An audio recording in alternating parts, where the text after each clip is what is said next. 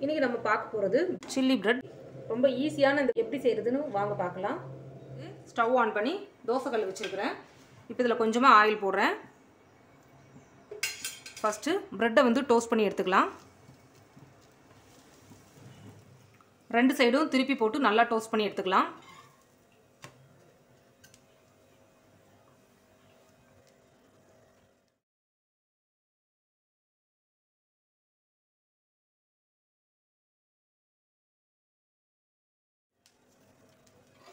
இது மாதிரியே எல்லா ப்ரெட்டையும் நான் டோஸ்ட் பண்ணி எடுத்துக்கிறேன். எல்லா ப்ரெட்டையும் நல்லா டோஸ்ட் பண்ணி எடுத்தாச்சு. இந்த ப்ரெட்டெல்லாம் கொஞ்சம் நல்லா ஆறுனதுக்கப்புறமா நம்ம சின்ன சின்னதாக கட் பண்ணி எடுத்துக்கலாம்.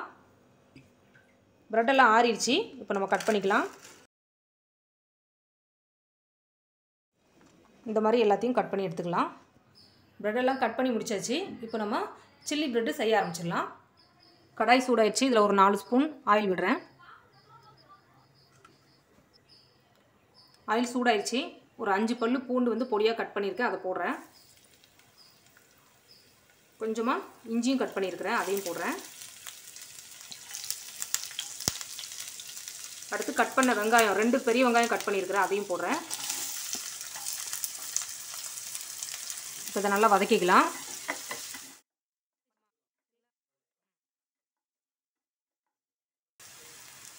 வெங்காயம் வதங்கிறதுக்காக கொஞ்சமாக உப்பு போடுறேன்.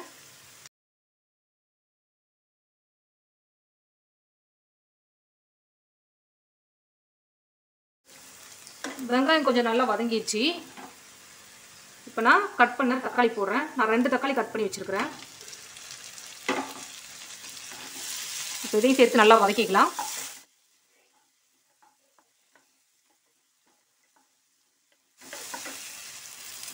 தக்காளி நல்லா வதங்கிருச்சு இப்போ நான் கட் பண்ண குடமிளகா போடுறேன். நான் பாதி குடமிளகா கட் பண்ணியிருக்கிறேன். குடமிளகா போட்டு ஒரு ரெண்டு நிமிஷம் கரெக்டாக வதக்கினா போதும். குடமிளகா போட்டு ரெண்டு நிமிஷம் நல்லா வதக்கியாச்சு. இப்போ நம்ம மிளகாத்தூள் போட ஆரம்பிச்சிடலாம். ஒரு ஸ்பூன் மிளகாத்தூள் போடுறேன். ஒரு கால் ஸ்பூன் கரம் மசாலா போடுறேன்.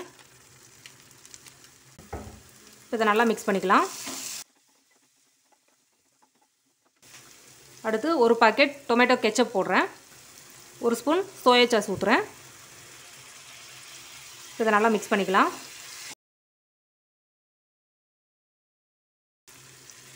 இப்போ இதில் கொஞ்சமாக தண்ணி சேர்த்துக்கிறேன்.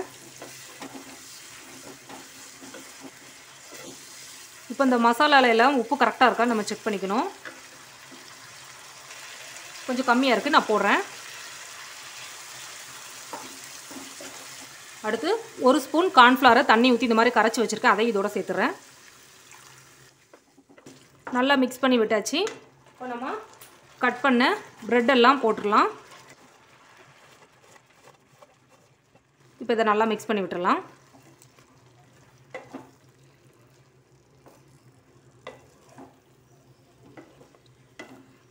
அவ்வளோதான் நல்லா மிக்ஸ் பண்ணியாச்சு. இப்போ நான் ஸ்டவ் ஆஃப் பண்ணிடுறேன்.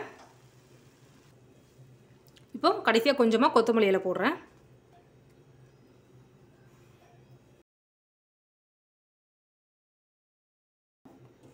சில்லி பிரெட் ரெடி ஆயிடுச்சு. கிட்ஸுக்கு ரொம்ப பிடிக்கும். கண்டிப்பாக இதை ட்ரை பண்ணுங்கள் மறக்காமல் வீடியோவுக்கு லைக் பண்ணுங்கள் சில்லி பிரெட்